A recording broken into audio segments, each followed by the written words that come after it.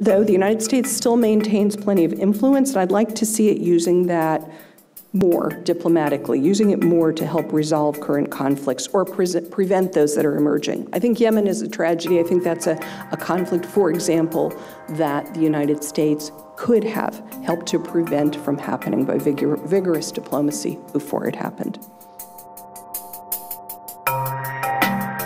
So very happy to introduce uh, Michele Dunne, who will be speaking on Middle East regional turmoil. Uh, she directs the Middle East program at the Carnegie Endowment for International Peace in Washington and came up today to be with us. Her research focuses on political and economic change in Arab countries, particularly Egypt, as well as U.S. policies in the Middle East. Uh, she was the founding director of the Rafiq Hariri Center for the Middle East at the Atlantic Council, as well as editor of the Arab Reform Bulletin at Carnegie. Uh, before that, she was a Middle East specialist uh, at the State Department for nearly 20 years, serving in assignments that included the National Security Council staff, Secretary's policy planning staff, the U.S. Embassy in Cairo, and the U.S. Consulate General in Jerusalem. She also served as a visiting professor of Arabic language and Arabic studies at Georgetown University, where she obtained her PhD. Please join me in welcoming Dr. Michele Dunne. And I'm happy that, uh, that you're interested in the Middle East, interested enough to come out this evening, because many Americans have given up caring about the Middle East, and it's, it's understandable. You know, it's been a rough time. It's been a rough time in the region. Uh, it's been a rough time for the United States for American involvement there. Um, what, I, what I'm hoping to do in our brief time together this evening is to um, suggest some new ways of looking at the Middle East and possibly even some, create a little, a little bit of hope in you about where things in the Middle East are going to go. So I'm going to start with just a, just a very brief description of what I would say is going on in the surf, on the surface in the Middle East, the kind of the Middle East regional turmoil that I was asked to speak about. But then I really want to spend time on why I think this is happening, what's going on, and, and uh, how we can understand it. And then I'll end with a few brief thoughts about U.S. policy in the region uh, and how the United States might find its way toward a new, uh, less complicated, and, and I think more constructive way of uh, engaging with the Middle East. So first of all, Middle East, what am I talking about? I mean, geographically, I'm going to be talking about the region from Morocco in the west to Iran in the east. Uh, I'm not going to include Afghanistan in this talk, and my primary focus is going to be on the Arabic speaking countries, although, of course, I, I will make reference to Iran, to Israel, to Turkey. They're all very important players uh, in this region. So, on the surface, you know, there are terrible wars raging uh, in Syria and Yemen, a third in Libya, and they've caused humanitarian catastrophes that are even greater than those of previous decades. And we know about the catastrophes of previous decades. Uh, the, the invasion of Iraq in the 2000s, um, the, uh, the Iran-Iraq war, the Algerian uh, civil war of the 1990s, the Lebanese civil war of the 1980s. There have been many destructive wars. Um, but these wars that have broken out in the last few years have left hundreds of thousands dead, millions displaced or made refugees, hunger, disease, destruction, uh, really something even, even beyond what we've seen in most of the previous decades. And we've got power, uh, power, regional powers, whether it's, whether it's Iran, whether it's some of the Gulf states, and external powers like Russia, uh, as well as the United States to some extent intervening militarily in this region. Now, there is, there is some hope that some of these con conflicts, especially the ones in, especially in Yemen and Syria, may be winding down, although they're not necessarily living, leaving those countries and the people in them in a very happy situation. Um, there's a lot of tension, of course, between Iran and a lot of the other regional powers, between Iran and Israel on one hand, Iran and Saudi Arabia, uh, on the other hand, uh, and Iran is extensively involved in the region. Um, but you know these these are the things that are are are going on. You know, um, as I said, on the surface. There's also this new wave of popular uprisings going on. Uh, in this year alone, major popular uprisings in Sudan, Algeria, which is going to have a very controversial presidential election just a couple of days, uh, Lebanon, Iraq, and, and Iran. So, you know, why is this happening? And, um, you know, this can be a bit of a Rorschach test. You know, people look at why there's all these problems in the Middle East, and everybody's kind of got their, their, their own explanation. Uh, U.S. invasion of Iraq, which, you know, destabilized the region, paved its way for Iranian uh, aggression and expansion in the region, as well, of course, of causing very, very extensive uh, Iraqi casualties and refugee flows. Um, another explanation that people sometimes give are U.S. attempts to sort of foist democracy on the region, on countries that were not ready for it. Um, U.S. attempts to withdraw from the region um, can be seen as destabilizing, whether in some ways under President Obama or currently under President Trump. Uh, ancient rivalries like Sunni Shia rivalries, uh, so forth. We, we can discuss all of these theories if you like, and, and each of them you know, has some merit. There's something, there's something to each of these. But what I want to talk about today is something much larger, larger that I see going on, real tectonic shifts in this region, megatrends that I see as causing the earthquakes that we're now seeing on the surface. Um, so, as I mentioned, you, have undoubtedly heard of the Arab Spring, uh, of this series of uprisings that happened back in 2011, and now we're seeing uh, a second wave of uprisings in, in a different set of countries. And I just, I'm going to show you a few slides just to sort of, so you can get a sense of how many countries this is now affecting. All right, so. Um, You know, the, these are the countries that were affected by uh, uprisings in 2011. These, these popular uprisings calling for bread, freedom, social justice, dignity, etc.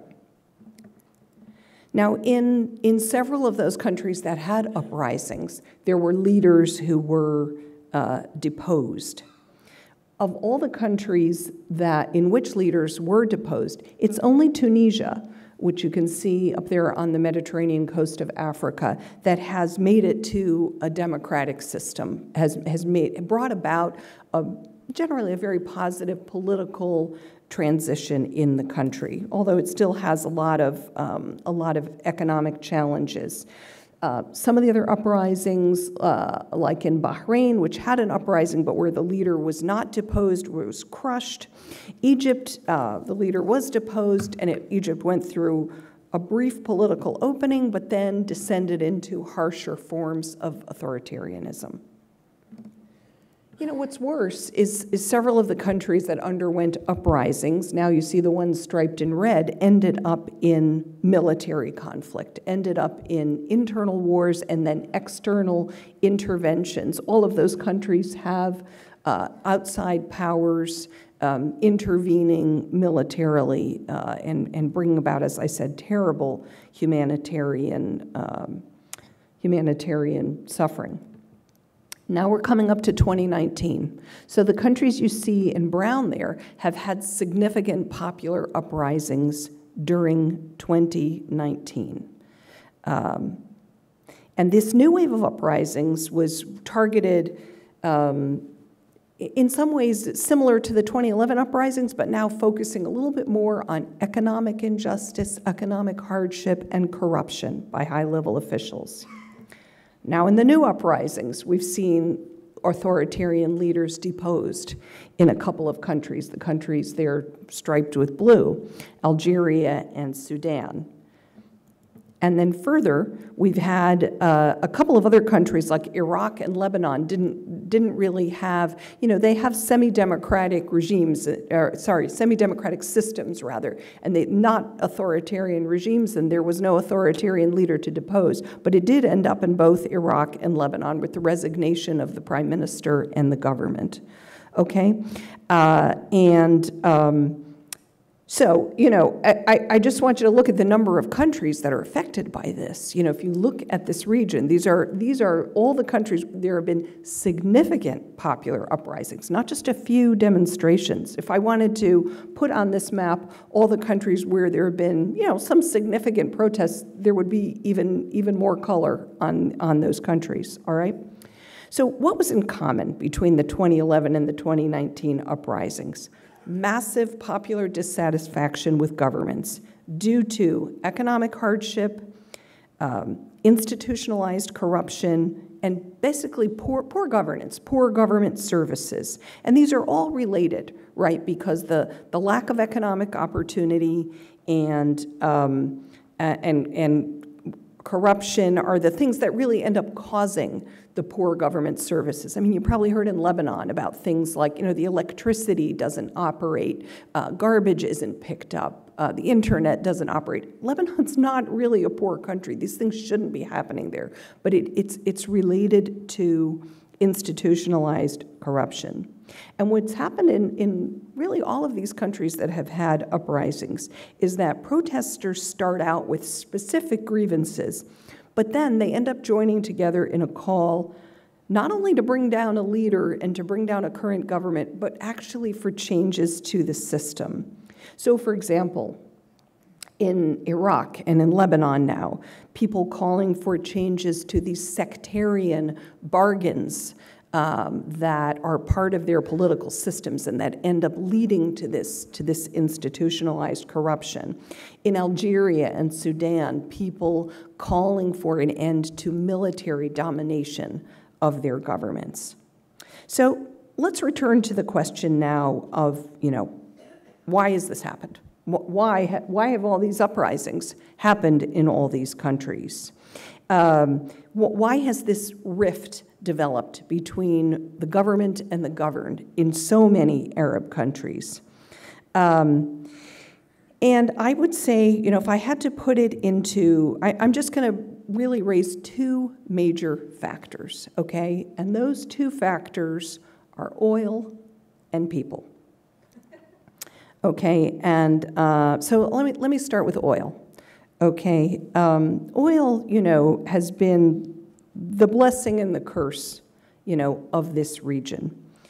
You know, in short, what has happened is that so many governments in this region have been able to rely on revenue, to run their governments on revenue pulled out of the ground from oil and gas, or some of the other countries that don't necessarily have much oil and gas are able to derive basically political rents from those who have the oil and gas. So it ends up in a situation in which very few countries in the region have productive economies. Okay, the economies are very much skewed, and the interaction of, of this whole region with the rest of the world, the economic and I would also say the political interaction with the rest of the world is skewed by the fact that there has been so much oil and gas coming out of this region. And now also living on uh, hydrocarbon rents or political rents has meant that governments really didn't need to tax their citizens. So they taxed them either very little or in, or in, some countries not at all. And therefore, the citizens didn't demand accountability from their governments. Okay, there's a quote here, very famous quote from Samuel Huntington uh, about, and he's not speaking about the, the uh, Arab countries here necessarily, but uh, about how, how this happens in countries that have, uh, have these kind of revenues or rents from, from uh, oil. So, you know, for a long time, there was this bargain or social contract uh, that meant that um, governments could dole out services and benefits to their citizens, you know, more in the richer countries, a little bit less in the poorer countries, at levels that were somehow acceptable to the citizens. And the citizens gave their loyalty to the governments, and they understand that they didn't have much input into decision making, they didn't have much ability to criticize or to hold the government accountable, but after all, they were getting something for free or almost free from their governments. This is a gross generalization, okay? And there, there are exceptions to this rule, but I'm just trying to kind of paint what I see as the big picture here. All right, that's the oil side. Let's turn to the people's side. So, in the mean, meanwhile, even over these decades uh, in which there was so much oil wealth washing around this region, the population of the Arab countries grew massively, more quickly than in any region of the world except uh, sub Saharan Africa. By, uh, by, by uh, 28, 29, 2010 or so, the region had an enormous youth bulge. Uh, I don't know if you've seen these kind of population pyramids before, but you know they break down they break down population by age group, and you can kind of tell you know what what what's what are the different age cohorts in a country by the shape of these graphs. So I just, just chose uh, the year 2014 and uh, to show you Egypt and to contrast that with the United States. So down at the bottom, the, the more of a pyramid um, that, a, that a, uh, a country has, the more youthful their population is. So you see how a country like Egypt had a huge number of young people uh, by contrast to the United States. And by the way, the United States is, is relatively youthful. I mean, if I were to put up a lot of European countries or Japan here, this would look even, even different and it would be very narrow down at the bottom, right? The United States is still fairly broad at the bottom, but you see how Egypt's is much broader, right? It's showing you that there's this very, very large youthful population. So what, you know, what started happening was there was just no way that the governments in this region with the exception of a few countries that had a lot of oil wealth and very small populations. Most governments, most of the Arab governments, could not provide jobs for all these young people. They certainly couldn't um, employ them inside the government, which is what, what they had been doing for the large, uh, to a large extent. And outside the government, private sectors were very constrained in a lot of these countries. Frankly, they're captured by small political elites connected to the government. And so, as I said, the economies are not productive. Um, they're generally not very linked to the global economy when you take out oil and gas. And the economies were just not creating jobs. In addition to this, because uh, the Arab countries, you know, generally saw their wealth coming from uh, rents, they really were not training their labor forces to be competitive in the global economy. And they've also historically had the, the lowest level of female participation in the labor force uh, of any area in the world. By the time the, the 2010 uh, or 2011 uprisings came, the Arab region had the highest level of youth unemployment in the world. Now, some of these problems were not unknown in the region. There was a series of, of reports done by Arab social scientists called the Arab Human Development Reports, done under the auspices of the UN. I mean, here's one from the, the first one from 2002, um, very much, um, you know, identified these, these deficits, uh, saying that the Arab region is really behind in human development, in, in, in education, and so forth. And the, the three deficits that uh, the Arab Human Developments Arab Human Development reports identified were, were freedom, women's empowerment, and knowledge. Knowledge being the quality of education, research, things like that, that were very, very weak. Um, in the, in the Arab countries. So, you know, we have uh, growing populations and um, economies that are not by no means keeping pace in creating jobs, and governments that are not able to provide services, the quality of government services in all but the richest countries declining in some ways because they just kind of can't keep pace. And citizens becoming more and more aware of this because of the communications revolution, because of people being able to watch satellite television and look at the internet and so forth and find out what's going on. Now, at the same time, to go back to oil for a minute, changing world energy markets whether we're talking about the increased share of renewables or the advent of shale oil and gas, meant that, and th- this didn't happen at the time of the, the first Arab uprisings, but it has happened since then. If you look at the latter part, you see how oil prices have really tanked. Uh, so the, the, the Arab region still has a lot of oil and gas, and that those resources are still needed and still still needed by the global economy and still important. However, they are much less valuable relatively than they used to be, right? Because of uh, other kinds of energy being on the world market. So this has radically changed not only um, how much money the Arab governments have to spend and how large their reserve, the reserves that they're sitting on are, it also has changed how other countries, I think including the United States, deal with this region. So that's it in a nutshell. Uh, governments have less to spend in the Arab region, but they've got a lot more people. And citizens are increasingly fed up with how little they're getting, and in some cases, how poorly they're treated by corrupt and, in some cases, abusive government officials. So the old social contract of government will dole out services, citizens be loyal and quiet, um, is, is not working well in many countries in the region.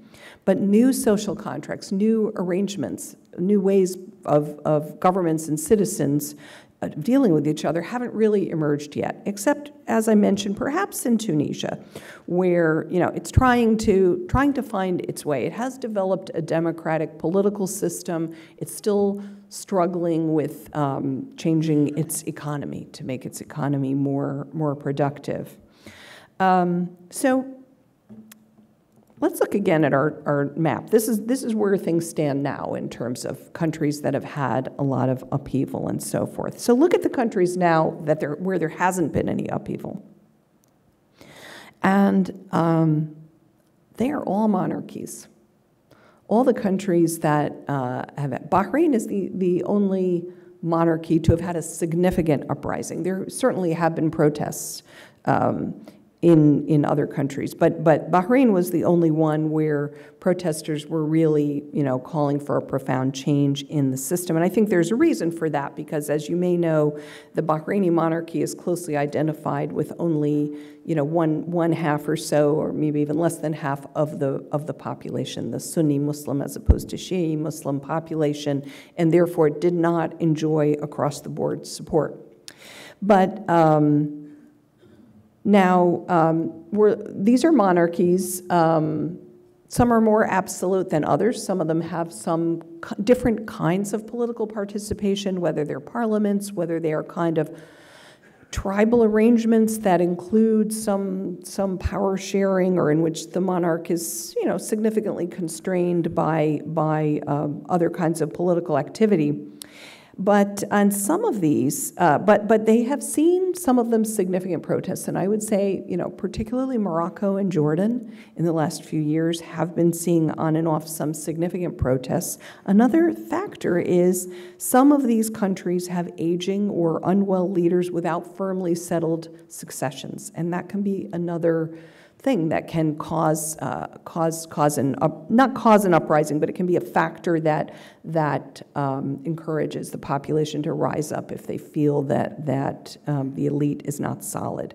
I would say some of these countries, perhaps Morocco, Oman, Kuwait, you know, have leaders who are either aging or, or unwell and in which the succession is not completely clear. Saudi Arabia um, is in the process of a succession with a uh, with a very volatile, um, some would say reckless crown prince who is uh, undertaking some bold reforms, but also using great brutality. So I think that's a question mark to me too, in terms of um, the, the Saudi monarchy. Are, are any of these countries absolutely immune from popular uprisings that could bring about real change? Probably very few. I mean, there are a couple of them, and I would say the United Arab Emirates and Qatar um, are, you know, they're, they have such small populations and a great deal of wealth that uprisings there are much less likely. But many of these countries, again, I would, I would say Morocco and Jordan in particular, suffer from some of the same problems as the other countries that had big uprisings economic inequality and poverty, corruption, uh, poor government services. Um, the, the, monarchs do enjoy some popular support, some popular legitimacy. I would say, especially the Moroccan monarchy is very deeply rooted in Moroccan society and history. But as we've seen, you can't take anything for granted in this region anymore. Uh, this region, it includes the Arab countries, and I would, I would put Iran in this as well, is in the middle of a, what I would call an epic transformation. From what it has been for nearly a century, which was an oil exporting region uh, dominated by authoritarian leaders of one kind or another, it's in the middle of a transformation from that to something else. But we don't know what that something else really is, right? Um, we don't know, you know, so protests, uprising, leaders deposed, governments resigning, economic crises, uh, internal conflicts, external intervention, proxy wars, etc. I'm afraid to say that this is the new normal in the Middle East for, for a while, for a decade or two at least. But I did promise you some hope, right? So here's where that comes. Again, back to people uh, back to demography. Eventually, these countries are going to reach a new equilibrium. Uh, perhaps when the youth bulges past and populations have a higher average age, which is often associated with more stability. Um, this is just a, a graph from, um, from UNICEF, and it shows, you know, there's this kind of a demographic sweet spot that countries uh, eventually get into when they have a lot of young and middle aged people who are ready and able to work. You have a lot of people in the labor force, and they don't have too many elderly people or young people, children, whom they have to support. Okay? And this is an opportunity for, for real progress. This is an opportunity for economic takeoff. And the Arab countries are headed uh, toward this place. Um, there are, you know, if you, this is, now the population in the Middle East is growing and it's going to continue to grow for a while. But what this is showing you is the uh, percentage of population growth. So what it's showing you is that the, the percentage of increase is already falling. And we already have a number of countries in the region that are at uh, already at or near replacement level. Okay, so that's you know obviously when uh, uh, the average woman is having two children or, or so, you know, then you're at replacement level. Some of these countries are there or even below that.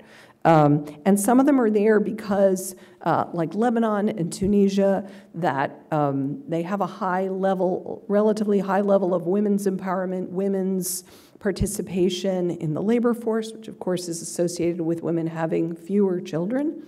And, uh, and then others, like uh, Iran, undertook a, a, a really big population control program uh, about 20 years ago and is very successful. And now Iran is at you know pretty much zero growth, pretty much replacement level in population. There are other countries in the region. I would pull out Egypt, Iraq, Yemen, and a few others where population continues to grow rapidly. But it's, it's going to change. You know, you might have seen some news that came out about six months ago that according to United Nations population projections, the world population is going to, uh, it's going to continue to grow for the rest of this century, but at a diminishing, diminishing rate, and we may actually reach a point by the end of this century where it stops growing, where world population levels off. Um, you know, Africa and the Middle East will be the last regions to, to reach that place of leveling off, but they, they will get there. Uh, and in fact, I think the Middle East will get there before sub Saharan Africa. So the question is you know, when they, when they get to the point where population growth, they're already in it. They're already in the beginning of that demographic sweet spot. Some countries are already in that sweet spot where they have an opportunity. A lot of working people, not too many dependents, and they have the ability, they have a good demographic situation for political stability and for economic um, takeoff. But it takes the right conditions, right? It takes broad-minded economic decision-making. It takes development of the labor force, development of human capital, which we know is missing.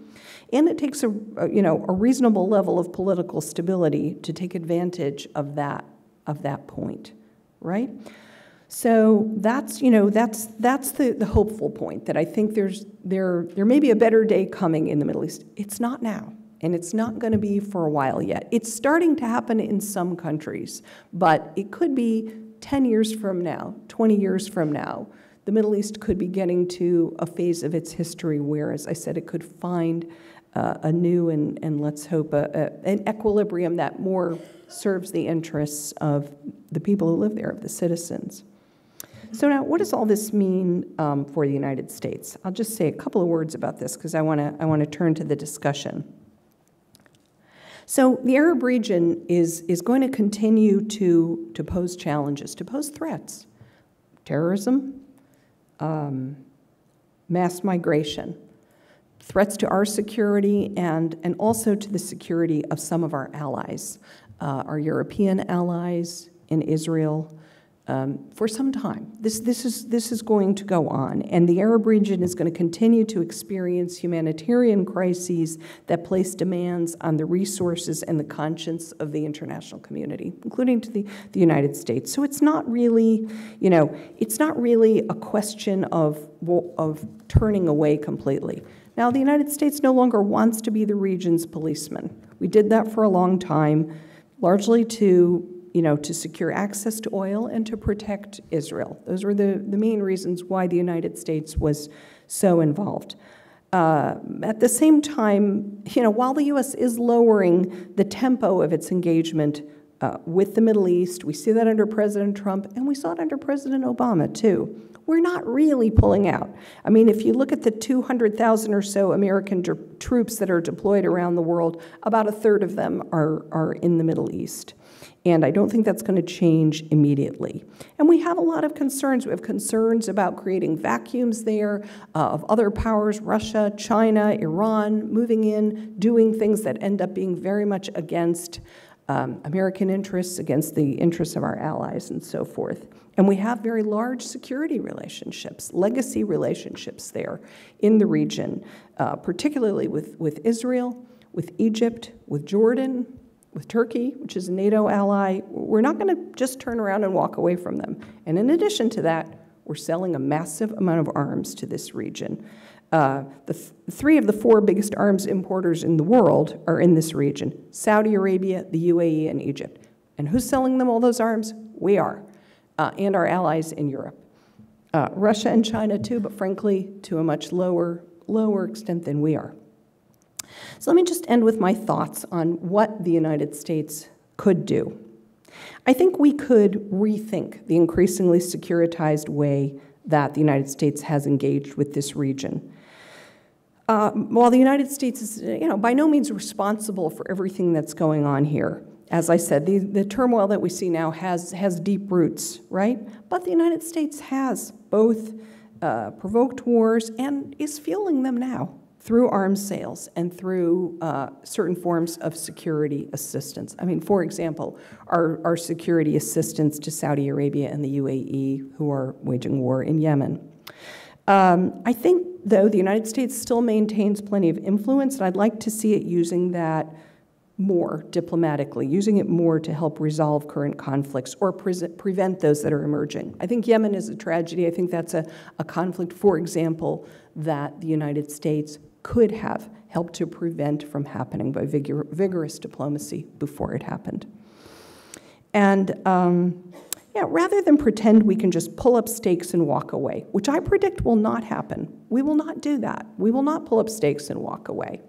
what we could do is kind of put on oil, uh, put on autopilot all the kind of securitized ways we're dealing with the region and not deal with it in other ways. I think we, we could, should think of ways in which the United States can um, encourage meaningful economic, social, and political development in this region so that it can take advantage of this better uh, demographic sweet spot that is now arriving. That doesn't mean we can fix all the problems in the region. That doesn't mean we can control what anybody else does. But I do think we can uh, we can play a constructive role. We, we still have to look at what we do, even if we don't control what other people do. We need to look ourselves in the mirror and say, well, what are we doing? Are we playing a constructive role? Are we playing a role that truly serves our interests as well as the interests of others, of the people in the region, and of our allies? And I think we could re engage uh, much more on this region with like minded allies elsewhere in the world, in Europe, in Asia, in Africa rather than just you know competing with them for arms sales, which is you know sometimes what we what we fall into. All of this that I am proposing. Uh, I, I think it's, it's not a heavy lift. In fact, I think it will be much less expensive and much less risky than what we have been doing, the highly securitized approach we've had, and more likely to produce good results.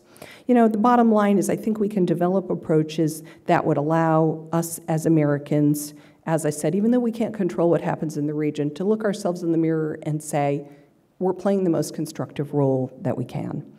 And yes, finally, we have to realize this is a process of decades, not, uh, not months or even a few years. And that's hard for us as Americans to face.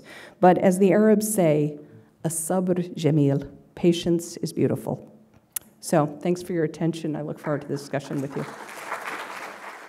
Would you comment, please, on the role of reconciliation and what the U.S. can do with certain partners to promote reconciliation as well as economic development? Okay, now I don't know if you have specific conflicts in mind, but. Um, well, for example, uh, at, in 2008, the Strategic Framework Agreement that was put in place between Iraq and the United States had a lot of promise in many areas of, of engagement yeah. that could allow other countries to participate in well as well. And that focused at least on two areas. One was reconciliation of conflict, and the other was economic development, and neither has worked. Right. So, um, look, I think that. Um, uh, so first of all, it's, it's always certainly worthwhile trying reconciliation, trying conflict mitigation, it's not always going to work, but sometimes it does, you know, and then it, it can save an incredible amount of trouble. As I said, had the United States uh, tried maybe to broker a solution to uh, the Yemen issue, rather than just supporting the Saudi and Emirati, you know, military campaign there, I think, you know, because now that's getting back to um, negotiations, and negotiations pretty much on, the, on, on a basis that could have been negotiated before this conflict started in 2015. So it's worth trying. The United States is doing a little bit. I mean, I noted, for example, just today, uh, the United States hosted um, the foreign ministers of Egypt and Ethiopia in Washington for talks. They're, they have a, a serious conflict over Nile waters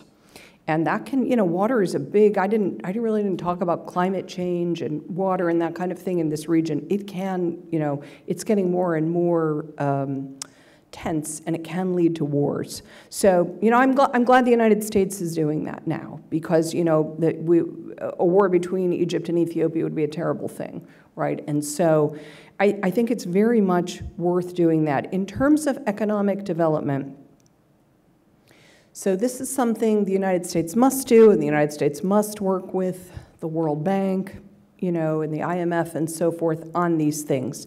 But it is difficult. I mean, frankly, uh, you know, the economic and political situations get all knotted up together. And you end up, you know, it, it's very easy to put in a lot of effort and a lot of resources into economic development, and then the political situation prevents it from succeeding.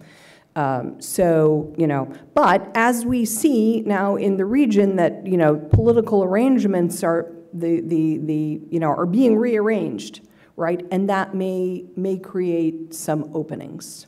You know, in, in a place, uh, let's hope, in places like Iraq, in places like Lebanon, where there's now, people are really fed up with poor government performance and corruption and so forth, and they're, they're pushing back. That can provide an opening, you know, uh, when, when the, the citizens themselves are demanding change for, you know, international players like the United States to change their own engagements in, in change their own engagement in ways that you know, foster economic development under a, a, if not radically changed, at least altered political situation. Can you imagine a scenario under which the Kurds are able to uh, actualize their aspirations for a national homeland, possibly Iraqi Kurdistan or some other scenario? I have to say, I don't see things trending in that direction. You know, with everything that has happened in Iraq, for example, um, you know, Iraqi Kurdistan long was, and perhaps it still is, the most, most developed and the most functioning, you know, area of the country. Um, and there was a lot of speculation at a certain point that Iraq might break apart um, and that Iraqi Kurdistan might become, you know, an independent Kurdish state. But I don't see that that isn't where things have gone, and it doesn't seem to be going there now. Uh, and then, and then certainly in Syria and in Turkey, that's not the direction that things are going. So while I, I will never say that it will never happen, I will say that for now, I don't see, I don't think, see things going in that direction. Um, why has uh, Tunisia seen uh, some success um, it was where the Arab Spring began, so they clearly had problems, yeah. but they, they, it seems to be working there. Yes, it is working. So, why did Tunisia see success? I would identify a couple of factors. One of them, I think, is human development. I think that, um, so Tunisia was a country uh, without any oil or gas, you know, in between two big countries, Algeria and Libya, that had that, those kind of resources. Tunisia didn't have it. It had to rely on its human capital. And um, you know, they made a decision. Habib Bourguiba, you know, back uh, decades ago, you know, made a made a decision. Now he what he wasn't wasn't a democratic system, but he did decide to invest in human capital and education and in women's empowerment and getting women into the labor force. And I think that made a big difference in Tunisia.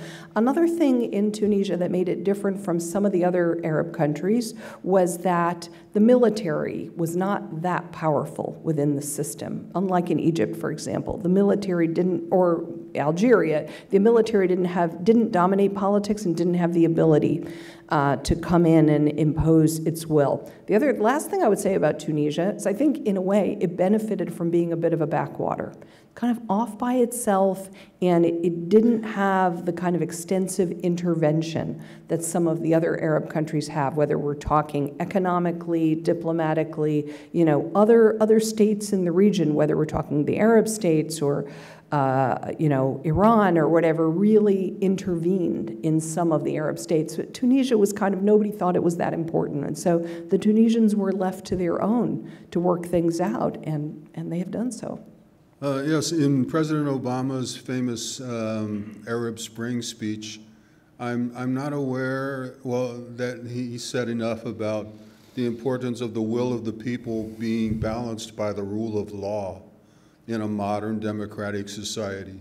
And I wonder whether in Egypt, for example, if, if, if uh, Obama had tried to emphasize that, that the, as being equally important with the will of the people being, uh, being uh, done, um, whether instead of people taking to the streets immediately and demanding that Mubarak be deposed immediately, if they could have let his term as president run out according to law, vote him out and vote someone else in more peacefully, uh, whether that, um, and whether, uh, and perhaps Obama simply saying something about the rule of law wouldn't have been enough to prevent that, prevent from happening what happened in those, in certain countries.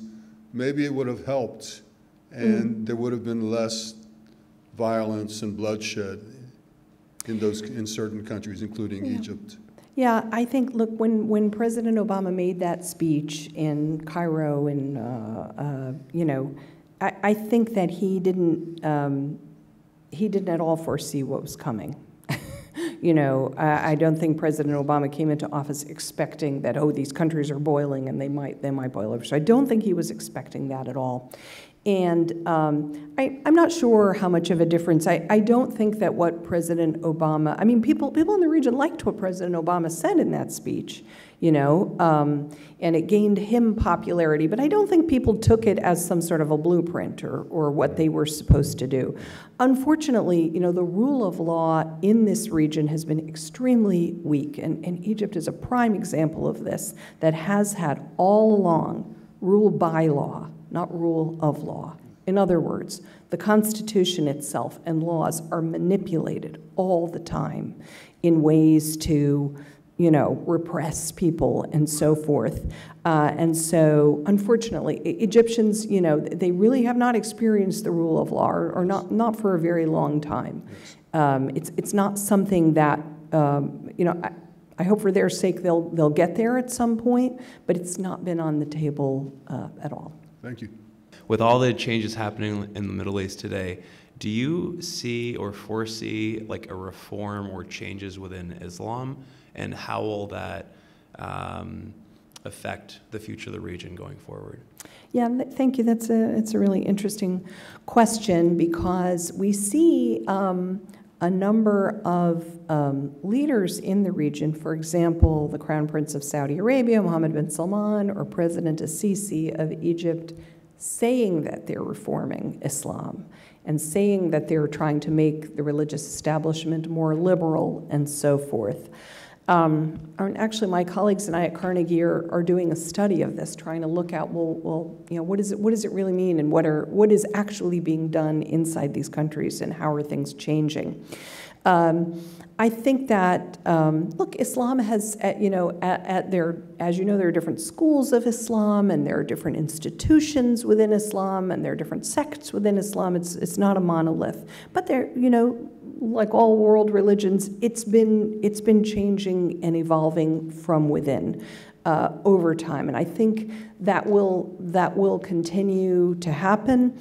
Um, you know, I think it's so. I think in in the eyes of most people that I speak to who live in the region, they, they don't think the religion itself needs changing, but it's a question of um, religious institutions or how are different aspects of the religion applied within law by courts or within laws? Or how is it used by political institutions? Because it is very much islam is very much used by political institutions and leaders to gain legitimacy. Uh, how is it used by political parties and social movements and this kind of thing? That's really what's more at issue i think for uh, for a lot of muslims Okay. So Thank you. I've enjoyed being with you.